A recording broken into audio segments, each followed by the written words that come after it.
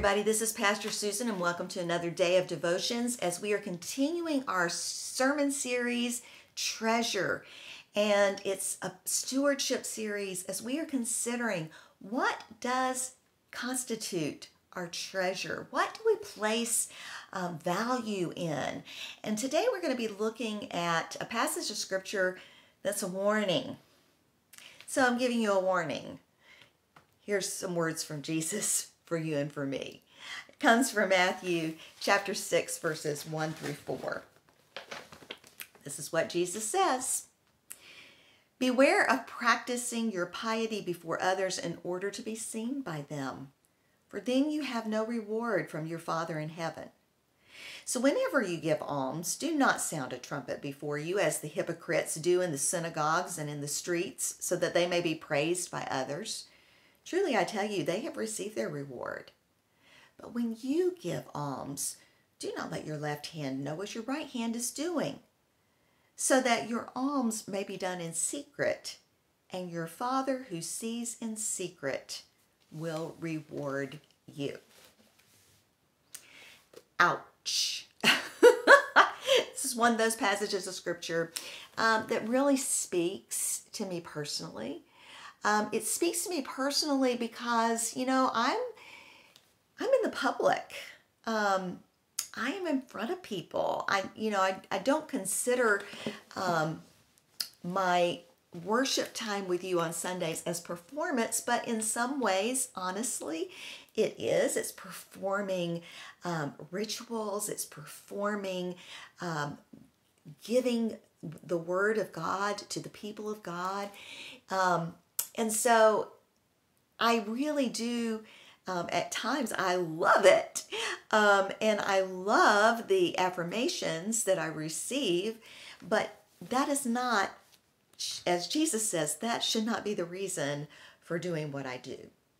Um, when I make a gift, it is to do it out of love for God and love for others. Um, I also come from a family where, you know, my husband is a performer, you know, and boy, howdy, does he shine when he's in front of others. And yes, he gives out of his mission uh, to bring laughter and joy to others, but we get something back from that, don't we?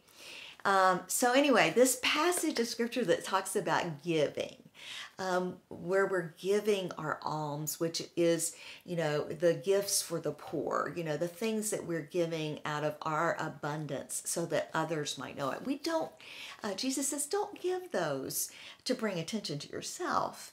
Instead, give it out of a heart of love. And I think in my life that that is one of the things that uh, God is continuing to speak to me about what are my motives for my giving. Um, I feel like I am a giver, um, and yet there's times when my motivations for giving may not be as pure as I want them to be. It may be so with you as well. As we give, let's think today about the ways in which we are called to give, not to receive recognition or affirmation of others, though that is wonderful um, when it happens, appreciated, but that we give glory to God. That's the reason that we want to give, is out of a heart that loves God with everything we are and everything that we do, and that loves our neighbor um, as we do love ourselves. And so today, how will you give? How will you give? What will be your motivation for giving?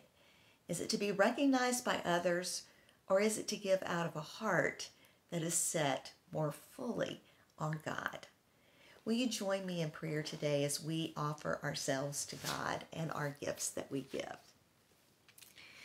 Loving and gracious God, we give you thanks today for the recognition that we have of our own ways in which the motives that come out of our hearts um, affect our giving. And so I pray, God, today that you would help us to recognize that we do fall short, and yet you love us and you call us into that deeper love.